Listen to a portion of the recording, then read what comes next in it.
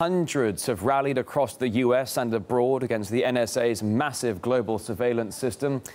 Uh, the Restore the Fourth movement initially emerged on social networks and has quickly gained support with its calls to respect the Fourth Amendment of the Bill of Rights uh, that protects citizens against illegal searches and seizures. And uh, RT's Marina Portnaya visited a protest in New York to see what the whole scene is like.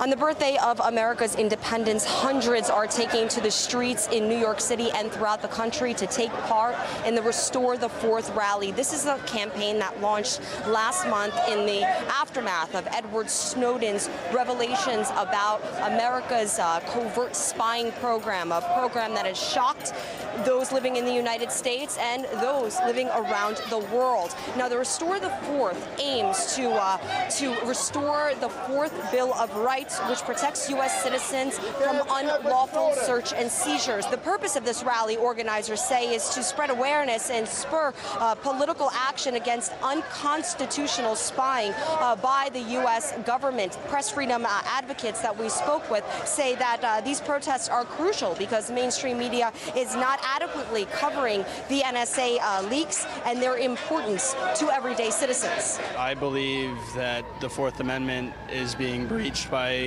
not only the government but by the police with search and seizure, with the NSA leaks and everything that's been coming out.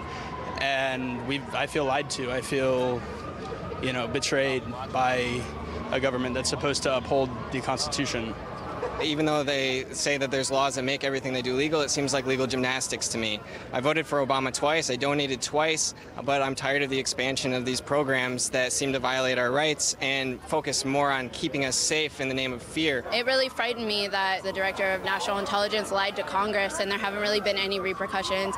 He issued a written apology, but people have lost their jobs over less, and it seems like he really needs to resign we are living in the midst of the uh, of the largest, uh, uh, uh, you know, un, unreasonable search and seizure system we've ever seen in the history of mankind. It's completely suspicionless search and seizure of our information, and that people should be infuriated. Now, this crowd has marched more than three kilometers down uh, Manhattan, ending here at Federal Hall, where the first Congress passed the Bill of Rights. In addition to this event, more than 500,000 people have signed an online petition at stopwatching.us demanding full disclosure of all NSA programs. Now, although this rally may be over, those participating in it say that their campaign is just beginning. Reporting from New York, Marina Portnaya, RT. And uh, Tom Killela, an organizer of the rally in New York, he says uh, the current government surveillance is uh, undermining the legal values of the country. It is necessary for surveillance to occur. However, uh, the problem with the way that it's being done now is that it is wholly unconstitutional, uh, and I would say that many people feel that way.